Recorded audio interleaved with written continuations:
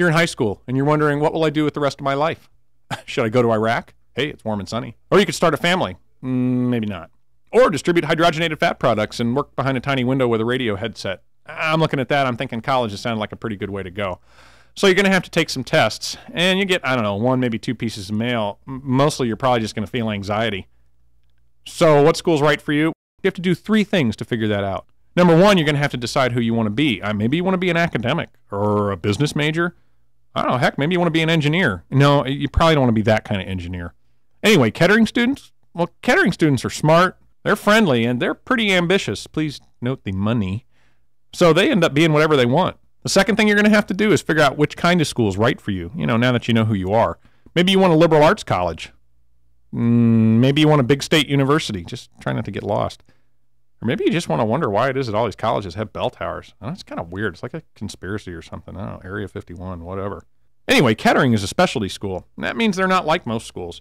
They have these things called professional co ops, so you get real world experience while you're learning. And the professors there care a lot about students, and they'll teach you cool stuff like how to build a really hot engine using common household items like duct tape, solar panels, and a cheese grater. Oh, yeah, hey, Kettering has a bell tower too. They're part of the conspiracy.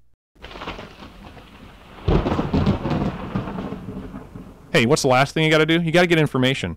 Maybe you should start with your parents. They'll give you valuable insight into the college process. And your mom will say stuff like, I think you should follow your bliss, dear. And your dad will say things like, I remember being a fighting beaver at the U of Y. I don't know. Forget your parents. Talk to your friends. I don't know. What are your friends going to say? They're going to say, like, you know, dude and dog and yo, peace out, homies. What up? I'm going to 7 Eleven for a Slurpee.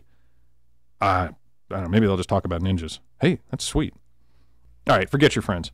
Anyway, I'm thinking you could look at really good college guides. My personal fave colleges for environmentally aware fascist squash playing Zoroastrian mystic musicians, who are also Belgian.